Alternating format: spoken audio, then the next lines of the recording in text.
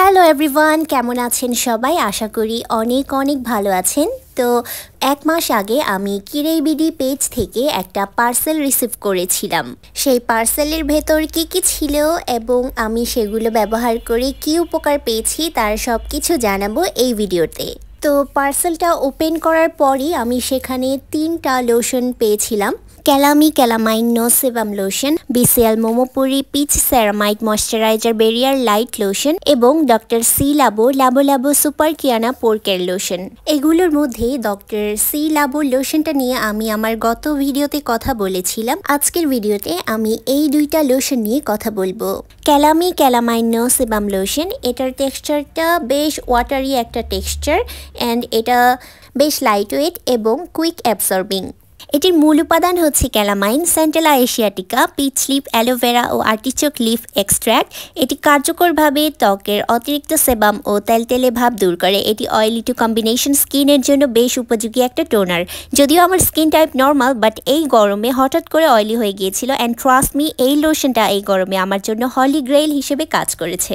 এরপর নিয়েছি B cell Momopuri peach ceramide moisturiser barrier light lotion এটার টেক্সচারটাও ওয়াটারি একটা টেক্সচার এটার মূল উপাদান হচ্ছে three types of ceramide amino acid retinol palmitate vitamin C derivatives vitamin E lactobacillus O hyaluronic acid এটি আপনার স্কিনের ব্যারিয়ার রিপেয়ার করতে কাজ করে, স্কিনকে হাইড্রেট রাখে স্মুথ কাম অ্যান্ড ব্রাইট করতে ভূমিকা রাখে। এছাড়াও রেটিনাল পালমিটেড থাকায় এটা অ্যান্টি এজিংয়ের কাজও করে। এতে হালকা পিচ সেন্ট রয়েছে অ্যান্ড এটা আমার কাছে বেশ ভালো লাগে। এটা ফেসে অ্যাপ্লাই করার পরে ফেসটা এত হাইড্রেটেড লাগে, কি বলব? এটা একদম ময়শ্চারাইজারের মতো স্কিনটাকে ময়শ্চারাইজ করে ফেলে।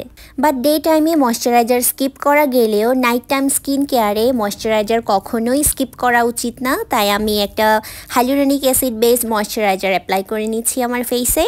ছোট্ট একটা টিপস, একটা বিষয় অলওয়েজ খেয়াল রাখবেন, যখনই আপনি অ্যাক্টিভ ইনগ্রিডিয়েন্টস যুক্ত কোনো প্রোডাক্ট ইউজ করবেন আপনার ফেসে, অন্য কোনো অ্যাক্টিভ ইনগ্রিডিয়েন্টস যুক্ত প্রোডাক্ট অ্যাপ্লাই করার ক্ষেত্রে অবশ্যই স্টাডি করে নেবেন যে ওই দুটো অ্যাক্টিভ ইনগ্রিডিয়েন্টস একসাথে লেয়ার করা যাবে কি না না হলে কিন্তু আপনার স্কিনের রিয়াকশন হতে পারে তো এই দুটো প্রোডাক্ট নিয়ে এই ছিল আমার আজকের রিভিউ অ্যান্ড এই প্রোডাক্টগুলো আপনারা কিরেই পেজে পেয়ে যাবেন, তাদের ওয়েবসাইট থেকে অর্ডার করতে পারেন অথবা তাদের অ্যাপস থেকেও অর্ডার করতে পারেন that's That's all for today. Thank you so much for watching. Happy skincare. Bye. Take care.